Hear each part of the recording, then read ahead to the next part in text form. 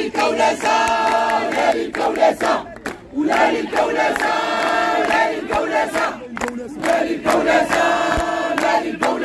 تنظم الجمعية العمومية لهيئة المحامين بالدار البيضاء وقفة احتجاجية.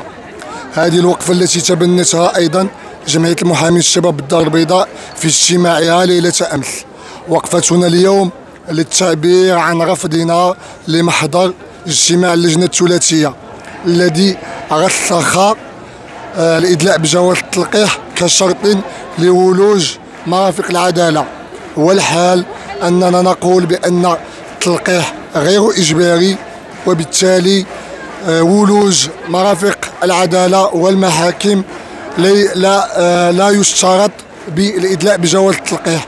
جئنا اليوم لنؤكد موقفنا الثابت بخصوص رفض الإدلاء بجواز التلقيح لولوج المحاكم سواء بالنسبة للمحامين أو الموظفين أو جميع أسرة العدالة وأيضا للمواطنين والمرتفقين.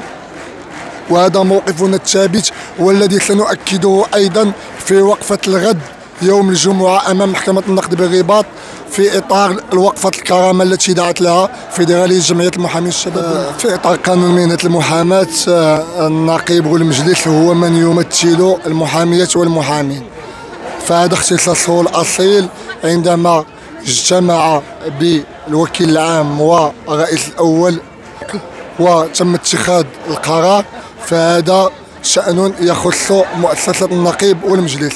حنا كجمعية عمومية نؤكد تشبتنا بموقفنا المبدئي اللي هو عدم الإدلاء بجواز التلقيح لولوج المحاكم ويا بزاف عليك